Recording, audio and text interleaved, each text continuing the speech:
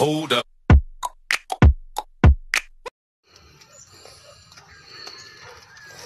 Di kami nga ni magkani basta adlaw na kay Init. mainit da.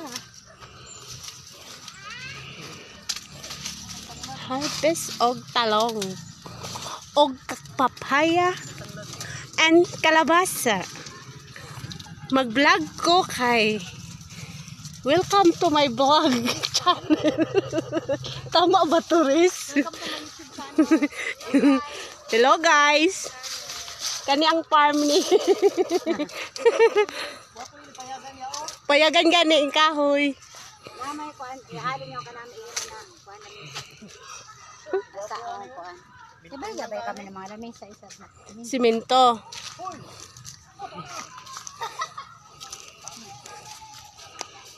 Hindi sa kamay lang ini. Mm. Magdata ba yun sa sili? Oh, Ate Riz. Ikaw pag-vlog. Dili man dapat tindog ni.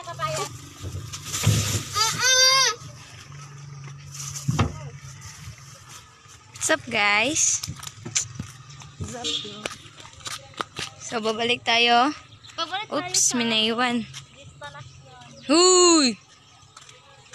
Anong ginagawa mo dyan? Tara, tara.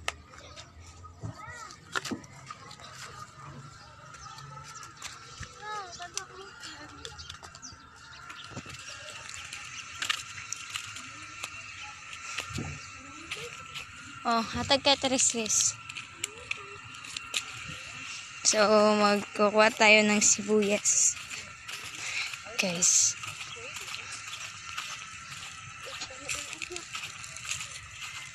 Kaya ito. Nasa dun i-video mo ako? Video pa ko eh, kasukamot pa ko gayud. This is my plant, sibuyas dahon.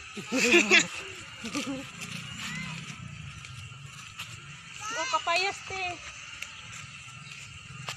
Ludo mo ako sa ako so, uuwi na kami guys. No. Ulo.